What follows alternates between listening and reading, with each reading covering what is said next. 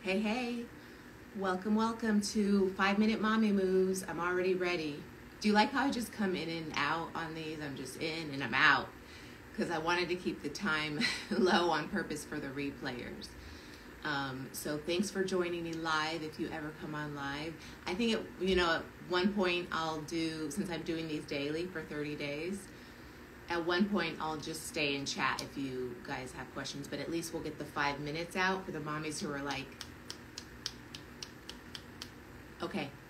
Um, okay, so this one is, can I say it's my favorite and we just started, it's day three. Probably I wouldn't, I won't say it's my favorite, but it's a, it's a good one. Okay, so we're gonna open up the the hips and the low back. So this is the little mommy hip, you know, or what am I doing with the baby? Or like just this, or like you know, like this, or you know, everything's we're we're compromising our our own posture at every minute, every second. You know, getting attending to the baby, or like this, or wanting to cuddle whenever there's a, a chance, right? Um, we take them but like we're compromising our posture at every second as a mom and so we because that's it's we're totally we we're in the back seat you know like they're our focus let's get them healthy well when you know enough to be self-sufficient in some regard so it's like you know that's constantly on our minds and so we take a back seat so when we're not mindful of the things that we're doing on a daily basis and never enough to counter them with counter postures, um, corrective postures. And where the corrective comes in is the fact that you gave the opposite side some attention. And then there's balance again in the body. And so we want to strive for equilibrium. And as moms, it's it's a tough game. And so all we have are, is five minutes to do this stuff. Okay.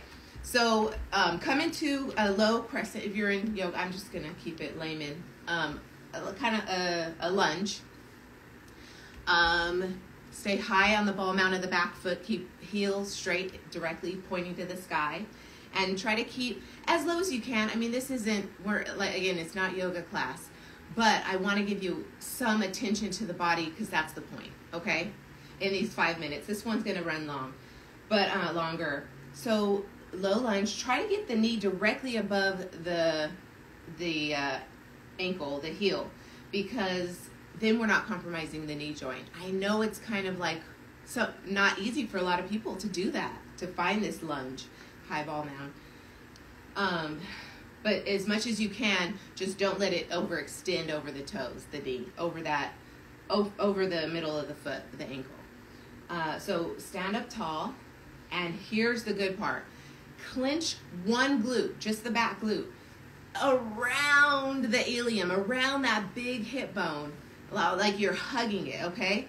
And by doing that, you're supporting the low back here and opening up the front side of the body, okay? So we want that. So get that engaged, get your feet engaged, your low half engaged right now. Second part. Re- put your hand on the couch or whatever you have next to you and reach over. Open up the hip. Keep the low back supported and you're correcting even the gait of every your everyday gait walk around the house by holding this in and bringing this back to that sturdy place where this is the side that's new this is the side that's open and i mean pretty we're neutral hips so anyway so open up that side body oh this is just dreamy and if, if you need it deeper in the front body just kind of like gives this nice little opening to the whole hip all the way around so if if that feels good, go deeper with your lunge. Ah, oh, look up to the sky. Yikes. Oh, that's good. Okay. Switch sides. We don't have a lot of time. Grab a kid's chair. Whatever's near you, whatever's sturdy, don't put a lot of weight on it if you can help it, or turn it around to where it is a little steadier. I'm gonna use the height though. So here we clinch the opposite buttock that glute muscle's wrapping around the ilium, almost like you're pushing it into the low back, like you're just like Poindexter. And open up the front body, sit nicely in your lunge, high ball mount, even I had to correct that. And then just everything is in neutral alignment, straight alignment. We're we're facing, we're parallel, our body is parallel to the wall in front of us. Okay, so sit deep. Now rest that right hand or whatever hand you're at at the base, and then reach over. Uh, don't forget the the buttock, the the glute clench, the butt clench. And breathe. I forgot to tell you, breathe. Just as I breathed into the space that I'm inviting in, opening, I'm doing this intentionally with my breath to oxygenate as well. So, but the pause in the breath is key, right? Open and out. Release the tension. Oh, stay as long as you need. And then inhale, come up. Ah, exhale, come to a forward fold. So bring your feet together. And this is just how we're going to make protect the low back further as we go on. We can't just get up and go, okay?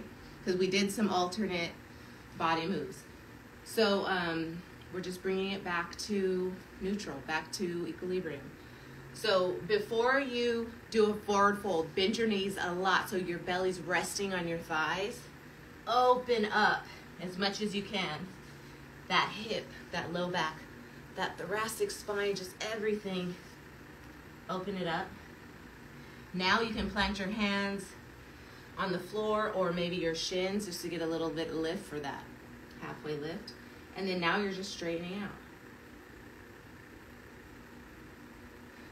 Breathe into the hamstrings. Oh, so much more to talk about. So much. Okay, see you tomorrow. Peace.